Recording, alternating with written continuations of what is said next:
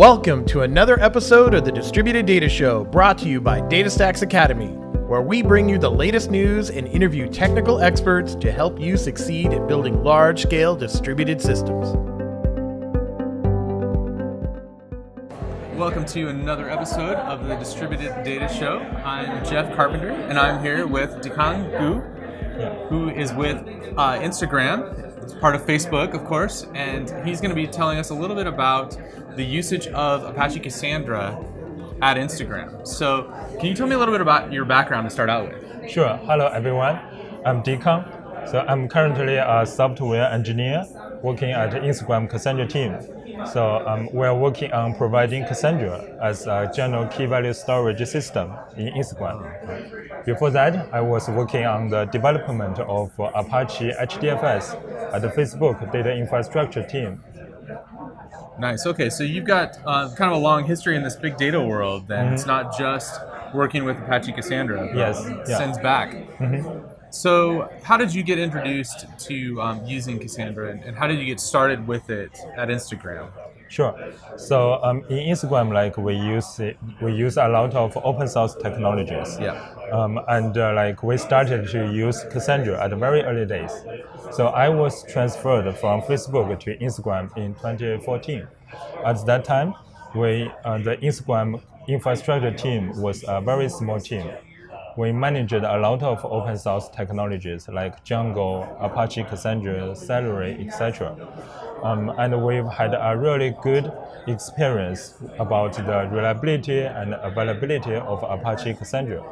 We started with Cassandra version 1.2, um, running local SSDs on AWS environment. The cluster was small at the beginning, so as the Cassandra team in Instagram. We did not even have people full time working on Cassandra at that time. Nobody. Yeah, no, like, Okay. yeah. Okay. Yeah, so then like as Instagram grows, like um, we put more and more use cases in Cassandra. We also founded the Cassandra team, a, dedic- a dedicated team to provide Cassandra as a service in Instagram. So today we're running, you know, like thousands of Cassandra servers across multiple data centers in Instagram. Okay. Good. Okay. So I have a, a couple of just things to follow up with you here. So, Mm-hmm. um, your story sounds kind of typical to the way uh, uh, Cassandra usage happens at a lot of companies, where one team starts using it, Yeah. and then they're starting to grow their cluster. They start figuring it out. Other teams are Mm-hmm. like, "Hey, does that actually work?" Sure. Oh, what do you mean? Okay, let's get on this. Sure. And then pretty soon you actually need um, kind of an ops team. Yes. Is that that Cassandra team is a is kind of an ops team? Yeah, so Yeah. We, we did both at the beginning. Like Yeah. we did like the operations maintenance, and also like we are doing the the development on the client API, Okay. the, the client abstraction. Yeah. So basically, like we want to provide uh, high level abstractions for Instagram, you know, product teams. So that like we can hide the complexity of Cassandra original API to provide you know faster um, iterations for our product Oh, awesome. teams. Okay, so Yeah. you're actually doing you're providing a capability on top, an abstraction layer on top. Yeah, yeah. Do you also provide like data modeling, consultation, and advice, or I've seen this happen we do, yeah. a lot of times in organizations where you really need that. Um, that uh, capacity, you know, Mm-hmm. that competency um, to really be able to provide good data modeling guidance to teams so they don't Mm-hmm. kind of mess things up. Sure. Yeah, especially at the beginning. Like, Yeah. you know, like um, for a lot of teams, they do not have en- enough experience with Apache Cassandra. Right. So we need to like go through together with them about the data modeling, about like um, what kind of uh, um, what kind of uh, table properties like the compaction strategy or the TTL they should use Right. and then gradually like we hide everything like into the abstractions. So that what they so so that so that today for our product teams what they want to what they need to do is only to pick one abstraction. Okay. and then like they do not need to worry about like the what compaction strategy they should use. They do not need to about like which cluster which actually class which actual cluster they should put in their use case. Okay. so all these are like you know handled by our team Awesome. Okay, so you're an API provider Mm-hmm. uh, a lot of the time to these teams. What are the guarantees? Like you have some SLAs that you're giving these teams as part of that. Yeah. So as a service, you know, like we provide, you know, SLA on the reliability and the performance of Cassandra. Okay. So in Instagram, majority Cassandra majority Cassandra requests are online requests. Yeah. So in order to provide a reliable and responsive user experience, we have very tight SLA on those metrics. So for example, for reliability, we are providing a five nines reliability to our customers, which means you know at any time the client failure rate should be less than 0.001%. Right. And for the performance, we're actively monitoring the, um, the throughput and the latency of different clusters, especially the P99 read latency. So we have done a lot of tunings and improvements of Apache Cassandra in order to provide you know high performance to our customers. Gotcha. Okay, so are there any like metrics in particular that you're tracking that are the most helpful? Like what what do you really key in on that helps you know Sure. how you're doing? Sure. Yeah. So for example, for the reliability, Yeah. we are you know monitoring the total number of requests and also the Okay. total number of fa- failed requests. You know. um, Right. So given like those two inputs, we can easily calculate the what's the failure rate for our customers. Okay. Then, for example, like we average, we have an average window of five minutes, and then like we want to provide, you know, in any five minutes window, the failure rate should be less than zero point zero zero one percent. Okay. That's how we track the reliability SLA. Right. So we do similar things for performance by monitoring, by collecting and monitoring the latency, the P99 latency, or even P999 latency on the client side. Okay. So in, in Instagram, like we have a huge dashboard to show like the live metrics, the live reliability and the performance metrics. Okay. Yeah. Nice. So what's the like? What would you say is the most common um, corrective action? Is it just add more nodes? Uh-huh. no, no, yeah. So, um, yeah, so for the reliability, like, um, so actually, you know, Cassandra's architecture allows us to tolerate small number of down nodes or failed nodes Yes. in Cassandra. So, which means like um, a single node or a few nodes go down will not trigger, you know, SLA or Right. large number of failures for us. So in that case, like You can absorb some yeah. a pretty good number of down nodes probably with the size clusters that you have. Yes. So in that case, like we have, uh, you know, a production engineering team, Yeah. which will help us to, you know, um, automate a lot of, uh, like for example, like node replace tools, Yeah. or even the cluster expansion tools, which allow us to quickly, you know, um, replace those those uh, down nodes or expand the capacity, uh, expand the cluster when we hit the limitation of the capacity. Okay. Yeah. And for the performance, um, you know, like we have done a lot of GC tunings at the early days. You know, try different heap size, try different, uh, you know, parameters for the CMS.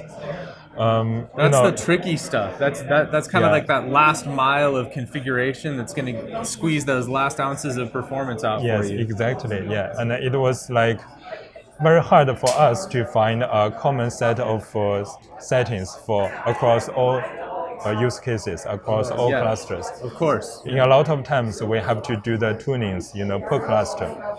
So which actually like um, More work for you. more work for us. yeah. So um, in recently like we start the Cassandra upgrade, which you know upgrade the our clusters from 2.2 to 3.0, which like um, actually like um, help helped us um, on the reliability and the performance. Oh, okay. So you you made that big jump um, to doing the upgrade to Cassandra 3.x, Yes. which uh, Yeah. t- tell me more about that upgrade. Sure. Yeah. So you know, like um, we started the upgrade process in middle 2017. Okay. So at that time, you know, like we already served hundreds of Instagram use cases, uh, and we are running Cassandra, you know, across multiple data centers, like across thousands of servers, and we are doing millions of operations per second. Yeah. Um, but you know, like we are not using the latest Cassandra. We're mainly using Cassandra 2.1 and 2.2 at that time. Yeah. Um, so there were a lot of changes. Solid release, but Yes. Yes. Yeah, there were a lot of changes between you know Cassandra 2 and Cassandra 3. So um, it costs a lot of maintenance overhead to us, especially if we want to backport some fixes or new features from Right. newer Cassandra versions to our internal versions.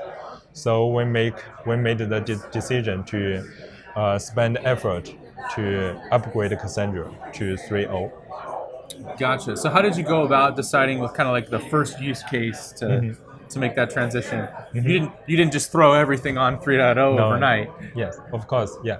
So um, you know, like as a um, infrastructure infrastructure team in Instagram, you know, like we want to minimize the risk, the upgrade risk. Yeah. Yes, because we do not want to um, have regressions on the performance and the reliability after the upgrade. So like um, You've already set a level of expectation with your internal customers. Yes, exactly. Yeah. So, um, so as a result, so we before upgrade we created the shadow clusters, you know, to mimic the setup and the traffic on our production clusters. Um, in this, I mean, uh, in this setup, we're able to compare different metrics between Cassandra 2 and Cassandra 3 um, um, at the beginning, we saw you know big performance regressions Right. on the Cassandra 3 clusters. The P99 read and write latency was actually you know uh, two times worse than our production clusters. But you Oh, okay. yeah, but you know our goal is to have again no Before you started tuning. before we start any tuning. Yeah, that's just baseline. Yeah, yeah, yeah. So, as I mentioned, our goal is to have no performance or reliability regressions. So, like our engineers spend a lot of time to work together with Apache Cassandra community Yeah. to identify the root cause for those regressions and to fix all the regressions in uh, the Cassandra 3. Um, so, So you're you're identifying bugs and maybe even pushing some bug fixes back toward uh, some things. Yes. So besides the performance fixes we have done, we also like identified some issues in the, for example, in the hints delivery process, and also the batch log processing um, process during the upgrade. Okay. So we we have the fixes internally, and we we will also open source them to the Apache Cassandra community as well. Okay, so is everything on Cassandra 3 now? Yes. Yeah. At the, at this moment, I'm happy to see like all Cassandra clusters in Instagram are running on 3.0 right now, with no performance or reliability regressions. Yeah. Excellent. And how long did that whole process take? It took us about six months Okay. To finish, you know, to from the evaluation to actually like upgrade the last server to 3.0 in Cassandra in Okay. Instagram. Good. That's a, that's a pretty big effort. Uh, so yeah, I think that I I perked up when you started talking about the shadow clusters because that is the envy probably of many a software engineer Yes. um, to have that kind of resource environment. Um, I don't know. I don't know uh, if it might have been as easy for you if you didn't have that um, kind of setup where you can actually literally compare the traffic going into two live clusters on two different versions. It's the same exact traffic. Yes. I don't know what you would do otherwise. Yes. So that's very important to us. And I think there are like different ways to do the shadowing, to do the double write. For example, one way is to ask our product teams to change their business logic. Yeah. You know, to write to the production cluster and also write to uh, Cassandra 3.0 shadow cluster. Yeah. but you know it's not convenient for our product teams and they are not happy to spend the time on plugging another cassandra you know request in their business logic. So unfortunately in facebook um, we have you know we can leverage a lot of infrastructure framework from facebook so they have a way to they have a framework to be able to shadow any Thrift traffic Thrift based traffic in facebook. Okay. so in Instagram, like we are heavily using the Thrift API in Cassandra, so that like we can plug in or we can configure the Facebook shadowing framework to route or to duplicate the Oh, traffic. that's interesting. So that's to- actually using the Thrift API. yes, still. the Thrift API. I thought we got rid of that. Yeah, we got got rid of that in 4.0, so we do we haven't upgraded to 4.0 We yet. really mean it this time in four. Yeah. yes, yeah. awesome. Okay, so uh, what do you? What's the next big thing? You started talking about 4.0. Like, Mm-hmm. what, what are you looking forward to coming down the pipeline? Yes. So I think there are a lot of big things happening in Cassandra community. So for Instagram, like you know, since last year, last year, Yeah. we have been working on a very interesting project to make Apache Cassandra's storage engine to be pluggable, and also ah. implement a new RocksDB-based storage engine to Cassandra. Okay. Yeah, so our main motivation for this project, you know, is to improve the performance of Apache Cassandra, especially, you know, the P99 read latency. Um, so we did like, you know, prototype, we did a benchmark Yeah. by switching from Cassandra's own storage engine to a new RocksDB-based storage engine. We're able to elim- eliminate majority of the Java garbage collection overhead, which actually reduced the Cassandra latency significantly. Right. Uh, yeah, and I want to mention like all our work are open source, and also we are setting up a benchmark framework in AWS in, in, in AWS environment. Okay. So everyone can download our source code, try it in AWS or your local environment, and you will see the difference. Cool. Okay, so I gotta ask. Um, Mm-hmm. So you just uh, you just implemented the iStorage engine interface, right? Yes. In, Yeah. in Cassandra, and Yeah. then you were good to go. I'm joking. Like, there's no, there is no such thing, right? Yeah. So, how invasive was it to put RocksDB in? Mm-hmm. I mean, how many things did you have to touch? Um, so basically, like we are almost touching every component in Cassandra. Okay. So you know this is because you know um, for the components in Cassandra, like the read-write path, like the streaming, repair, table management, etc. All they're- based on this formats. Yes. Yes, right. They're, they're coupled together with the storage engine details. By the storage engine, engine details, I mean the storage is, I mean the SS table concept. Right. You know, they are leaking everywhere to all these components. It's SS tables everywhere. Yes. Right. So um, we're not trying to fix every leaking um, places, you know, at, Right. at once. So instead, like we gradually plug the RocksDB in different components, Okay. like the read-write path, Right. like the streaming, which are most critical for us. So like we try to have um, API in the read in the read path, in Right. the write path, in the streaming first Right. so that like we can implement a different version of the read path, a different um, have we can have a different implementation of the Right. streaming. So will there be a little bit more? I'm not trying to lead you here, but will there be a little bit more of the uh, APIs, cleaner APIs around some of those Sure. things to make you know the next person that wants to plug in another storage engine that much easier? Sure. Yeah. So if you um, you know if you are monitoring the Cassandra community discussions, Yeah. So you you will notice like there have been a discussion on a very big Jira, which the title is Cassandra pluggable storage engine. Right. So there What's are the number? You know? Sorry, I forgot the But number. some of these, but some of these popular Jiras, Yeah. they just become known by their number. Yes, so um, there are a lot of discussions, you know, happening in that Jira, and Yeah. like, um, so personally, like I also I proposed a detailed design doc about how to make Cassandra's storage engine to be pluggable. Good. Okay. Um, so, so in that Jira, I'm not talking about the RocksDB at all. So the purpose is Right. to make Cassandra's storage engine to be pluggable first. You know, like to decouple the the storage engine from other components, so that it, it will improve the test testability of Cassandra significantly. right. So in that Jira, like I also created, you know, about 10 sub-Jiras to reflect every component in Cassandra.